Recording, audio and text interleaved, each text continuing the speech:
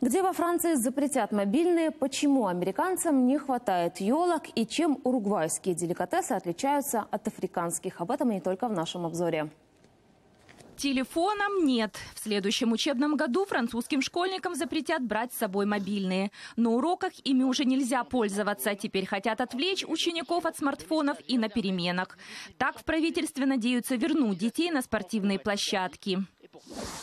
Охота за елками. Американцы спешат купить живое рождественское дерево, ведь на всех может не хватить. Когда в 2008 грянул кризис, многие фермы по выращиванию елок закрылись, а чтобы дерево выросло, нужно 8 лет, поэтому сейчас и оказалось, что зеленых красавиц маловато. Средняя цена кусается. 80 долларов – это вдвое дороже, чем до кризиса.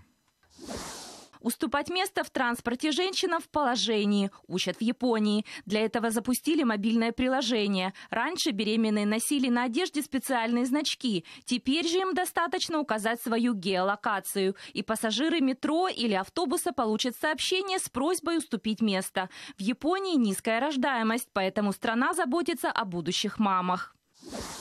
Праздник живота. Уругвайские кулинары нажарили 10 тонн мяса и уже во второй раз попали в книгу рекордов Гиннесса. Чтобы приготовить самое большое в мире барбекю, 200 человек трудились почти сутки. Их цель – насолить аргентинцам, ведь те побили предыдущий уругвайский рекорд в 2011 -м. Обе страны – мировые лидеры по производству мяса.